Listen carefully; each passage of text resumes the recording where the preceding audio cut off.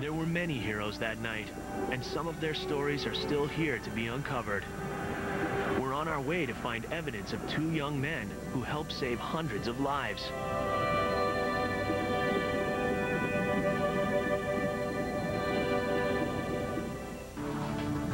Marconi room was the communications center for the ship. It was manned by two young radio operators, Harold Bride and Jack Phillips. They stayed in the room sending distress messages until the rising water drove them to close down the high voltage equipment and try to save themselves. I think, I think we're in.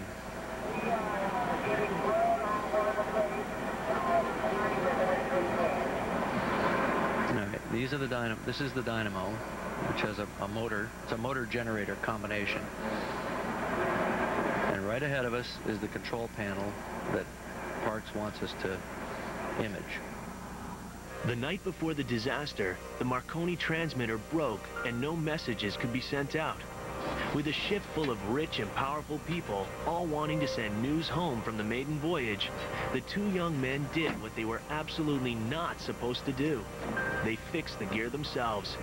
They worked all night and also modified the signals to get more signals out of the machine. Bride and Phillips' willful action was an extraordinary stroke of luck.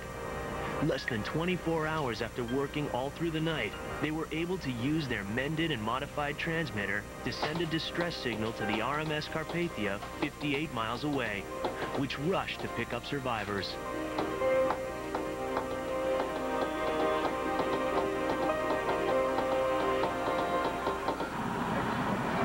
Knife switches. This is right where Jonathan Phillips switched off the set. Look at that. There's the knife switch in the down position. Yeah. And look at these regulators. This is, you can see the left one is cranked all the way over. They were really trying to get the spark up as much as they could as the as the ship was dying. You can see it right here. This, this is incredible. Part of Titanic's hall, technological hallmarks is this. That's right. And part of what made the story so powerful was was the rescue. The people who were saved, the 703 who were saved, were saved because of this machine.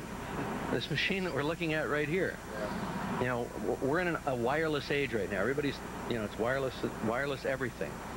But this was an example of, of, you know, at the turn of the last century, it was a wireless age as well. People were enamored of this technology. There's the whole panel right there. There's the knife switch. The handle's knocked off it. Now, the question is, did he leave it in that position or did it get knocked into that position?